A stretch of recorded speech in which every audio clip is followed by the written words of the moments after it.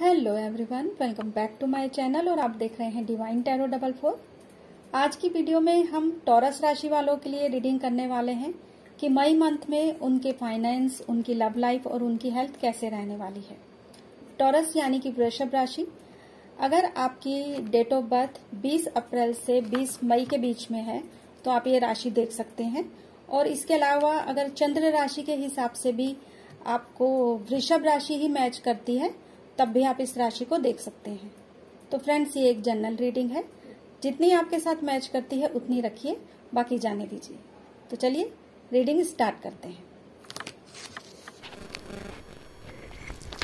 तो एरिस मई मंथ के लिए आपके फाइनेंस के लिए कार्ड निकले हैं। द टावर रिवर्स में four of cups eight of cups ten of pentacle all over energy के लिए आपका निकला है स्ट्रेंथ का कार्ड और बॉटम ऑफ़ द डेक है क्वीन ऑफ़ पेंटिकल तो फ्रेंड्स आपके कार्ड कहते हैं कि आप किसी ऐसे जॉब या बिज़नेस में हो सकते हैं जिसमें आप स्टक फील कर रहे हैं। उसमें आपको कोई फ़ायदा नहीं हो रहा है। आपको भी मालूम है। लेकिन आप कोई एक्शन नहीं ले रहे। आप किसी ऐसी जॉब में हो सकते हैं कि आपके वर्क प्लेस में प्रॉब्लम हो, कोई ऐसा प्रोजेक्ट हो जिसे आप ना कर पा रहे हो या उसमें उलझन हो। लेकिन आप कुछ बोल नहीं रहे हैं कि ऐसा ना हो कि जॉब चली जाए। सेम फीलिंग आपको बिज़नेस को भी लेके है। अब कोई एक्शन नहीं ले रहे हैं उसमें। कि कहीं ऐसा ना हो मुझे और ज़्यादा लॉस हो जाए या मेरा बिज़नेस बंद हो जाए। किसी भी तरह के काम में है तो आपकी एक शून्य में जाने वाली स्थिति है। कि आपको पता सब कुछ है कि गलत हो रहा है सब कुछ, लेकिन उसके लिए एक्शन नहीं लेना। सेकेंड वीक की भी आपकी सेम एनर्जी है। आपको फाइनेंशली लॉस भी हो सकता है, इसलिए केयरफुल रहिए। आपकी लापरवाही आपके लिए भारी पड़ सकती है। आपको नए नए आइडियाज़ की ज़रूरत है। अगर एक तरीके से काम नहीं हो रहा है तो दूसरे तरीके से कीजिए। आजकल ऑनलाइन सब कुछ ऑनलाइन लोग लेते हैं। आप अपने बिज़नेस को इंटरनेट पे डाल सकते हैं। उसका फ़ायदा उठा सकते हैं आप। तो अगर आप आप नए नए आइडिया यूज़ करते हैं तो डेफिनेटली आपको फ़ायदा होगा, क्योंकि आपके मई के लास्ट वीक की आपकी एनर्जी बहुत अच्छी है। आप में से कुछ लोग ऐसा भी लगते हैं कि अपने पुश्तैनी काम को छोड़ के आपके फैमिली बिज़नेस को छोड़ के आप दूसरे बिज़नेस में, दूसरी जॉब में चले गए थे, जिसमें आपको फ़ायदा नहीं है तो आप अपनी फैमिली बिज़नेस में आइए वापस। उसमें मेहनत कीजिए, आपको हंड्रेड परसेंट फ़ायदा होगा।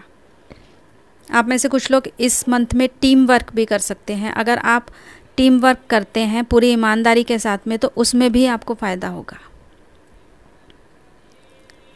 आप में से कुछ लोगों को पुश्तैनी ज़मीन जायदाद संबंधी फ़ायदा भी हो सकता है?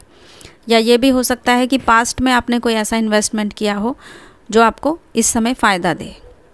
प्रॉफिट के साथ वो आपके पास वापस आए।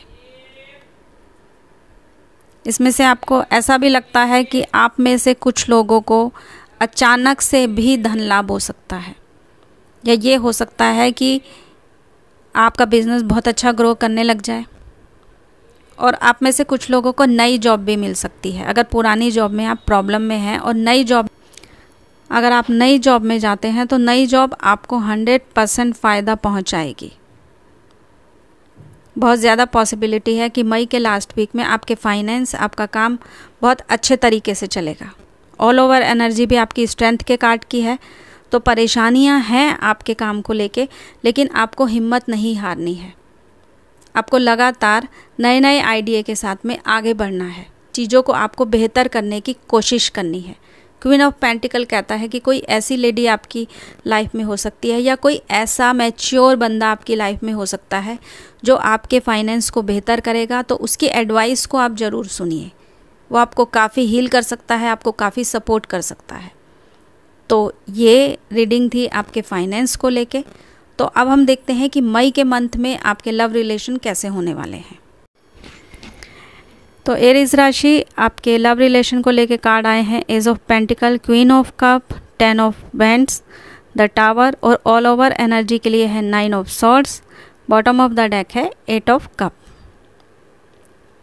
तो आपके कार्ड कहते हैं कि आप अपने रिलेशनशिप को बेहतर करना चाहते हैं। आप चाहते हैं कि आपका रिश्ता आगे बढ़े आपके रिश्ते आगे अच्छे हों। आप में से कुछ लोग किसी मैच्योर बंदे से भी डील कर सकते हैं। हो सकता है आपका पार्टनर आपसे बड़ा हो। आप जिस भी बंदे से डील कर रहे हैं, वो आपके लिए अच्छा है, ईमानदार है, लेकिन हो सकता है कि आप कुछ मुद्दों पर सहमत ना हो। आप कहीं ना कहीं खुद को फंसा हुआ महसूस कर रहे हैं। ये भी हो सकता है कि आप अपने काम पे ज़्यादा फोकस कर रहे हो तो आप इस रिश्ते को टाइम ना दे पा रहे हो। किसी ना किसी वजह से हो सकता है आप मल्टीटास्किंग कर रहे हो, आपके पास बहुत ज़्यादा काम हो। तो आप बोझ महसूस कर रहे हैं कि आपके पास रिलेशनशिप के लिए टाइम नहीं है। तो इसका असर पूरा सा आपके रिश्ते के ऊपर पड़ रहा है, ऐसा लगता है कि आप में से कुछ लोगों का ब्रेकअप भी हो सकता है। और उसकी वजह से आपकी जो ऑल ओवर एनर्जी आई है, वो बहुत सैडनेस की आई है। आप अपने रिश्तों में इतने ज़्यादा फंस चुके हैं कि वो रिश्ते आपके काम नहीं कर रहे हैं। और ऐसा भी लगता है कि आप में से कुछ लोग अपने पास्ट के किसी रिलेशनशिप को लेके भी प्रॉब्लम में हैं। आप उसे भूले नहीं हैं या आप प्रेजेंट में जो आपका रिश्ता है, आप उस पर काम नहीं कर पा रहे क्योंकि आप पास्ट में कहीं अटके हुए हैं। कुछ चीज़ों को लेके आपको पछतावा भी हो सकता है। तो आपको सलाह है कि अगर कुछ प्रॉब्लम चल रही है तो आप एक बार बैठ के बात कीजिए। अपने रिश्तों को आप सुधारने की कोशिश कीजिए। टाइम हमेशा एक सा नहीं रहता है। आगे आपका टाइम भी अच्छा आएगा। तो मई मंथ में आपके रिलेशनशिप में कहीं ना कहीं थोड़ी सी प्रॉब्लम है। लेकिन अगर आप कोशिश करेंगे तो आप इससे बाहर भी आ सकते हैं। तो ये रीडिंग थी आपके लव रिलेशनशिप को लेके। अब हम हम आपकी हेल्थ को देख लेते हैं कि मई मंथ में आपकी हेल्थ कैसी रहने वाली है। एरिस राशि आपकी हेल्थ को लेके कार्ड आए हैं द एम्प्रेंस और सपोर्टिंग कार्ड है आपका एट ऑफ़ पेंटिकल जो कि आपको ये कहता है कि आपकी हेल्थ अच्छी रहेगी, जो लोग मैरिड हैं, वो कंसीव भी कर सकते हैं, आपको गुड न्यूज़ मिल सकती है, और अगर पास्ट में आपको कोई हेल्थ इशू थे तो उसमें भी आपकी रिकवरी होगी, आपको इस मंथ आपकी हेल्थ अच्छी रहने वाली है। लेकिन साथ ही आपको अपने वर्क को शेड्यूल करने की ज़रूरत है। आप अपनी हेल्थ की तरफ़ भी पूरा फोकस करिए अदरवाइज़ आप प्रॉब्लम में आ सकते हैं। ऐसा लगता है कि इस मंथ आप काफ़ी काम करने वाले हैं और आप अपनी हेल्थ को कहीं ना कहीं इग्नोर कर रहे हैं। तो इग्नोर मत कीजिए, अपनी हेल्थ की तरफ़ ध्यान दीजिए। तो ये रीडिंग थी मई मंथ के लिए आपकी। आई होप आपको पसंद आई होगी। हम फिर मिलते हैं नेक्स्ट वीडियो में। तब तक के लिए take care thank you so much